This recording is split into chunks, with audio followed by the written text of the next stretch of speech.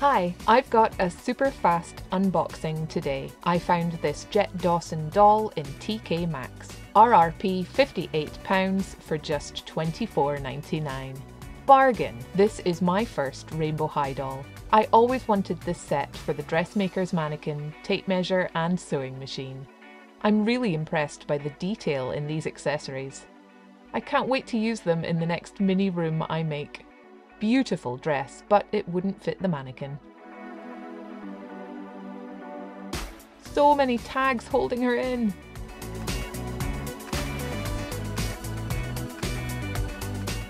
Static hair! So cool though.